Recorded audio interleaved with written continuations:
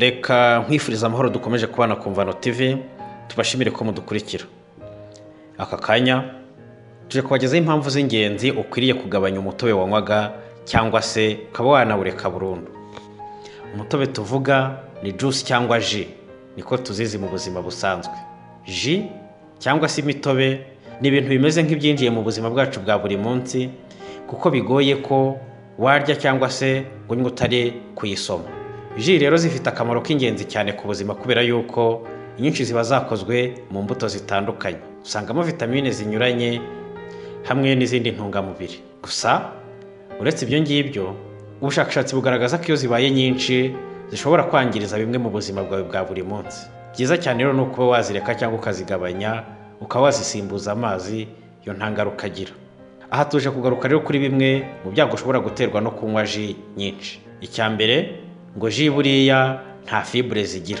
Mu bisanzwe rero fibure ni umwunyungugu w'ingenzi cyane umubiri wacu ukenera mu buzima bwa buri munsi. Uyu mwunyungugu kandi unafasha mu gutuma umuntu yumva amerewe neza mu buzima bwa buri munsi. Rero kunywa ji bibangamira igogorwa ry'ibyo wariye kubera yuko ji zo muri rusange nta kintu kijyanye na fibure ziba zifitiye. Hano rero ngo uzumva utameze neza mu mara yawe kubera yuko wafashe rya cya kinyobwa kitagira fibure mbese ngo igogorwa rirabangamirwa mu gihe wanyoye ji cyane.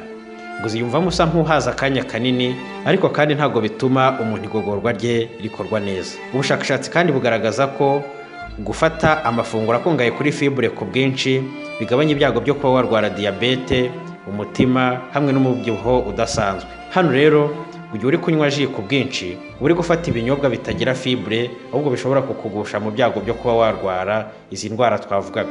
Ji kandi ngo inyinshi ziba zikozwe hifashishijwe isukari. Abahanga bagaragaza ko wafashe imbuto ukazikorera wifashishije imashini zabugenewe izindi nyinshi zo mu nganda ziba zakozwe hifashishije isukari. Iyi sukari rero ifite byinshi yangiriza ku buzima bwacu bwa buri munsi. Mbese kunywa izi ji waguze ujye uzirikana ko akenshi zishobora kuba zongewemo isukari kandi bikaba bifite ingaruka mbi ku buzima bwawe.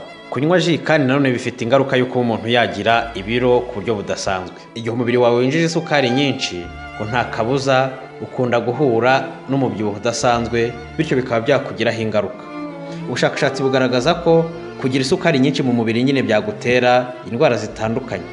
Hano rero ugomba kuzirikana ko kunywa ji ku bwinshi bishobora kuba byagutera kugira ibiro byinshi noneho kugira ibiro byinshi bikabangamira itembera ry'amaraso mu mubiri rya tembera ry'amaraso ryabangamirwa bikaba byakuviramo kuba wagira ikibazo cy'indwara z'umutima. Ji rero abahanga bagaragaza ko nyine ni ikinyobwa kitagira fibure na nkeya ni ibinyobwa byinshi bikorwa hifashishijwe isukari yewe bishobora no kugushyira mu byago byo kuba wagira ibiro bidasanzwe. Ni ikintu rero cyo kwitaho no kuzirikana ngo ji nziza batugira inama zo kwifashisha nizo twakwikorera twifashishije imashini zabugenewe n'imbuto kubera yuko ari zo tuba tuzi neza ibizikoze. Tubifuriza ubuzima bwiza rero no kujya mubaho mwifashisha ibintu musobanukiwe neza. Niba utarakora sabusikarayibu kanda kuri buto y'umutuku byanditseho ukurikiza akamenyetso kameze nk'inzogera karakurikiraho indi nkuru yose tuzakora ubutaha izakugeraho ku gihe. Turabashimiye. Njye nitwa rufonse